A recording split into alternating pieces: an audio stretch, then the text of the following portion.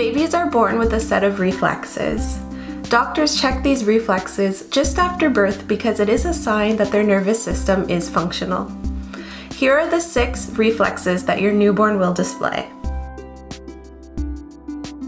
The Moro reflex, often referred to as the startle reflex, makes its appearance when your infant is moved quickly in any direction. The infant's response is to extend their arms and legs while throwing back their head and then pulling their arms and legs back in. The infant may even trigger their Moro response while they are fast asleep, or even from sounds that they make, such as cries or lower gas.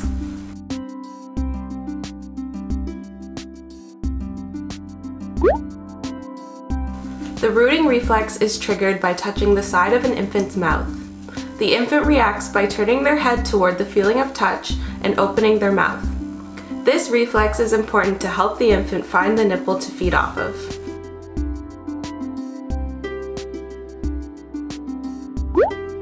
The sucking reflex occurs when something touches the roof of an infant's mouth. The infant's mouth will begin to suck strongly. This reflex is important for the infant to stay alive as it promotes sucking at the nipple.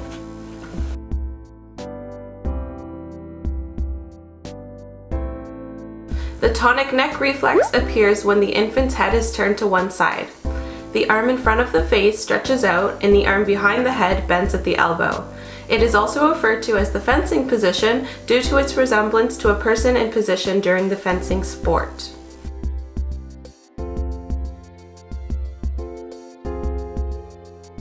The stroking of an infant's palm triggers their fingers to close over in a tight grasp, known as the palmar grasp reflex. The strength and duration of this grasp is unpredictable.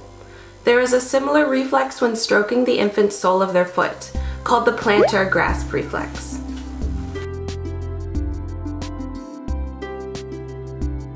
A less known reflex is called the stepping reflex, where an infant appears to be walking once held upright and feet are touching a solid surface.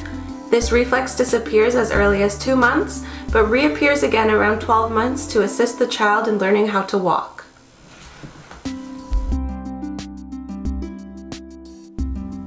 Each reflex has a period of time for which it appears and disappears. All of these reflexes should be present at birth. The Moro reflex disappears at around 2 months of age. The rooting reflex disappears at around 4 months of age. The sucking reflex disappears at around 4 months of age. The tonic neck reflex disappears around 5 to 7 months of age. The palmar grasp reflex disappears around 5 to 6 months of age. And the stepping reflex should disappear around 2 months of age. There is one more, commonly known as the swimming reflex, where parents say that when they hold their infant underwater, they will hold their breath. This isn't entirely false. This is actually called the bradycardia reflex, and it does cause an infant to hold their breath underwater and open their eyes underwater. Although this is a good response to being underwater, this reflex is not sufficient to keep your baby afloat and survive while being dunked in the water. It is really not recommended to dunk your baby underwater without any professionals around. Generally, baby swimming lessons can begin at 6 months of age, and the bradycardia reflex can be used to help teach a baby how to swim. Thank you for watching, and thanks to our reflex star, Isla. Don't forget to like this video and subscribe to the channel. Bye, and have a wonderful rest of your day.